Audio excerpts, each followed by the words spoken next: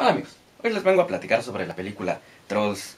Y bueno, esta es la nueva cinta animada de DreamWorks, quien, si bien al principio planteaban una alternativa un poco menos pastelosa que eh, Disney con películas como Shrek o Cómo entrenar tu dragón, últimamente sus trabajos carecen del sello distintivo que los diferenciaban de la competencia. Y el cual les duró poquito, por lo visto. Trolls no es la excepción, ya que la historia toma prestada parte de los pitufos y hasta de la cenicienta.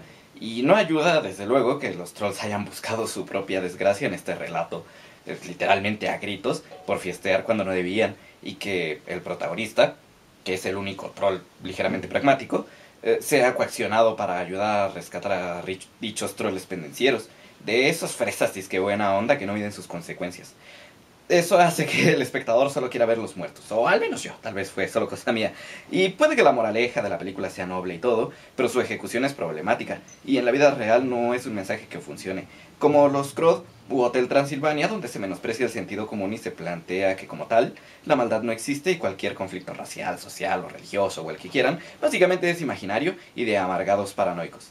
Misma lógica que lleva a la gente a hacer estupideces como beber en la calle y a la hora de la desgracia, como, no sé, recibir una golpiza, un arresto o morir en un accidente o lo que sea, y digan así de, oh no, nadie nos advirtió. Pero fuera de ese mensaje torcido, y en el aspecto técnico, la animación como tal no es mala. Y si quieren ver esta película, lo que sí tengo que darles dos advertencias. La primera es, antes que nada, que esto es un musical. Así que si no les gusta la música pop contemporánea anglosajona, pues mejor olvídenlo. Y los covers de bandas como Simon y Garfunkel o Gorillaz, aunque graciosos en su contexto, podrían ofenderlos un poco. La segunda es que yo vi la película subtitulada y aunque el doblaje en inglés, pues en sí está bien.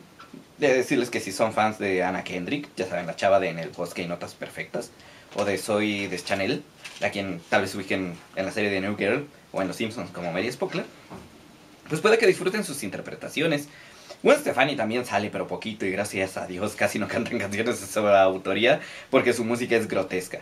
Justin Timberlake es el protagonista, les digo, el único troll pragmático, que por motivos de la trama casi no canta. No sé si eso sea algo bueno o malo, eso sí será cuestión de gustos también. Pero a lo que voy con esto es que desconozco la calidad del doblaje en español. Y en los musicales, si el doblaje no es adecuado, la película puede tornarse insufrible. Así que en ese aspecto les fallo. Em, porque no me consta. Eh, tal vez los temas, eh, los temas cantados que no fueron compuestos originalmente para la película, como en el caso de Happy Feet, ya saben, la cinta de pingüinos de el director de Mad Max, de la cual por cierto soy fan, quizás hicieron eh, lo mismo de dejar las canciones en inglés, como en esa película, cuando pues, escuchábamos los covers de Queen y eso. No sé si lo hicieron en Trolls y si alguien vio la cinta en español que me lo diga, acá en los comentarios y todo. Pero bueno, yo solo les comento a lo que van y ustedes decidan si van o no. Si bien la cinta en definitiva no me fascinó, si les gustan los musicales de este estilo, eh, o la serie esta de Glee, son fans de eh, Anna Kendrick, creo que es una película que podrían disfrutar. Incluso hay algunas secuencias que son como libros de recortes que hace el personaje de Anna Kendrick, que, visualmente son distintos al resto de la película. Se ven más tradicionales, como tejidos como el de este juego acá de Kirby que tengo. Y son secuencias eh, simpáticas.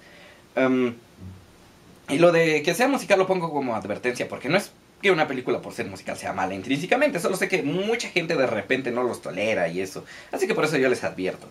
Ah, pero bueno, este, por mi parte eso fue todo. Porque contarles más sería entrar en terreno de spoilers, no voy a hacer eso. Así que si vieron la película, pues platíquenme qué les pareció, qué les pareció el doblaje en español, si la vieron en español. Esta semana hubo varios estrenos, así que en breve les traeré las reseñas del contador, un cadáver para sobrevivir y una cinta de terror que viene a un festival llamada The Void algo que se traduciría como el vacío. Así que, como siempre, muchas gracias por ver el video. Esta reseña en particular me fue encargada por Roy, así que, ¿qué hubo Roy? Espero que hayas disfrutado el video. Pero en fin, yo me despido y nos vemos pronto.